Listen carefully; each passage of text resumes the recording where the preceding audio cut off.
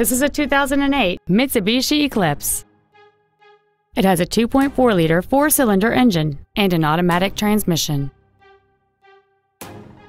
Its top features include a low tire pressure indicator, Sirius satellite radio, a multi link rear suspension, and a sunroof enables you to fill the cabin with fresh air at the push of a button. The following features are also included air conditioning, cruise control, stereo controls on the steering wheel, leather seats, side impact airbags, latch ready child seat anchors, an auto dimming rear view mirror, a rear window defroster, keyless entry. Contact us today and schedule your opportunity to see this vehicle in person.